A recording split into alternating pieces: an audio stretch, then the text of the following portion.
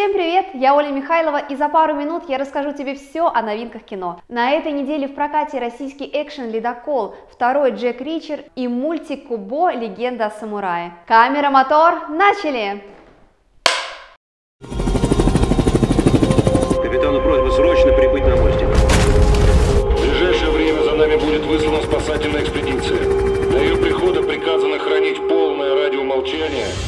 Начинает наш обзор очередной эпичный, патриотичный, отечественный блокбастер «Ледокол». Расскажет он о брутальных мужиках, которые застряли в нарисованных на компьютере льдах. Недаром же в России прошел год российского кино.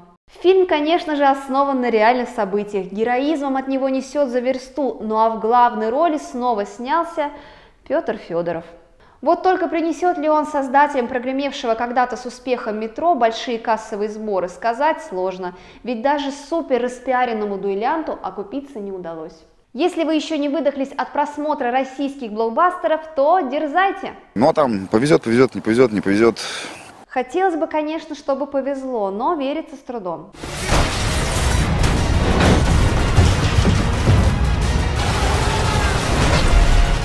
Тебя, слышишь? Всем с палубы в укрытие!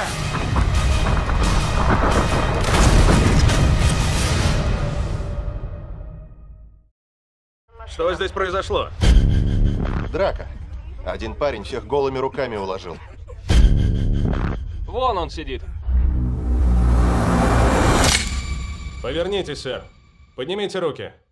Медленно.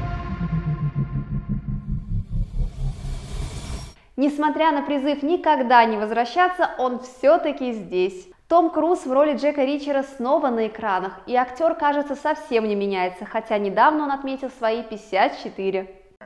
Вот это поворот!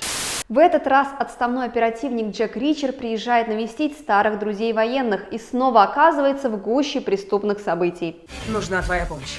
Кто-то убивает солдат. Твоих бывших подчиненных. Пора начинать охоту. Конечно же, ему предстоит всех спасти при помощи своих фирменных ударов левой и правой, которых будет еще больше обычного. Поэтому сразу предупреждаем, что кроме большого количества драк от фильма ожидать ничего особого не стоит. А если ты тоже считаешь, что Тому Крузу пора перестать сниматься в бесконечных сиквелах, то ставь лайк. Думаете, вам закон не писан? Но я не судья. Так что начинайте бежать, а я начну охотиться. И когда найду, убью вас всех.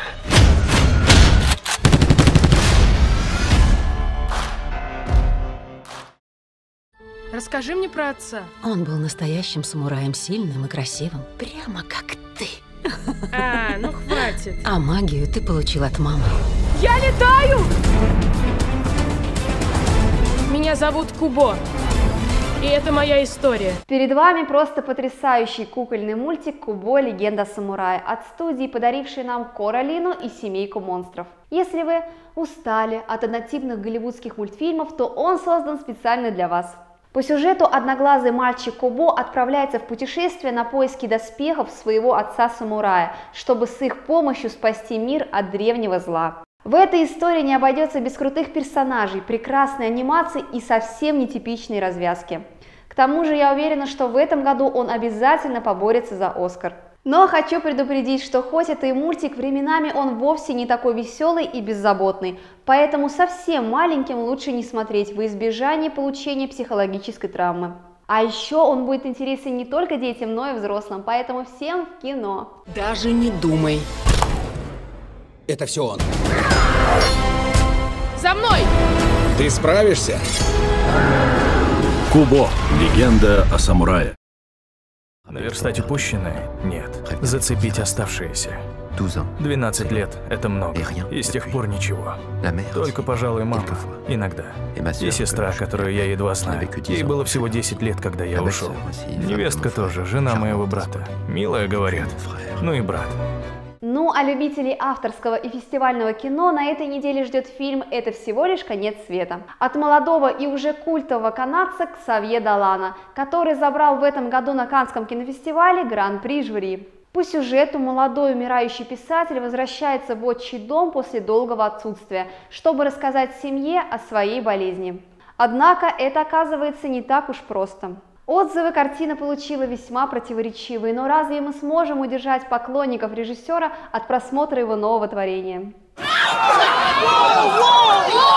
Что они сделают, когда я им скажу, что уйду и больше не вернусь? Совсем никогда. Не разворошу их воспоминания. Что тогда?